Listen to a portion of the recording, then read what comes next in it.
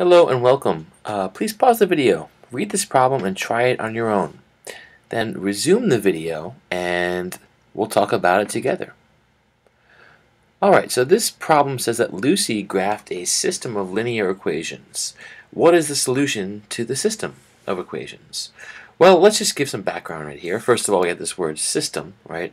And this refer refers to um, a collection of equations. So if you have a couple of equations, right, we can call this group of equations a system.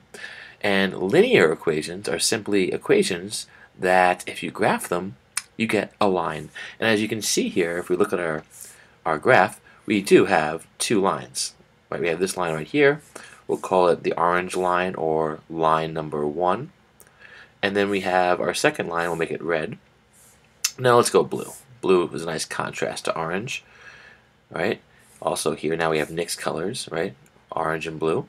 Now we have line 2.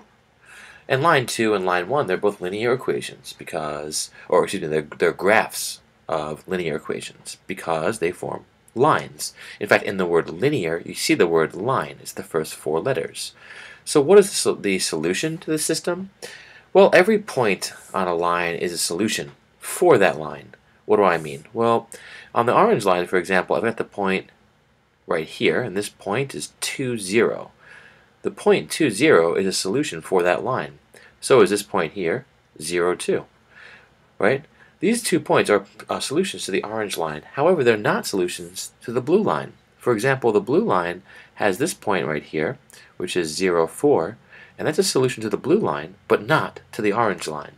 So essentially, when you're looking for a solution uh, to both equations, you're trying to find if they meet and where they meet. If they do meet, then that point is a solution for both lines. And the point here, this, this point right here, is negative 1.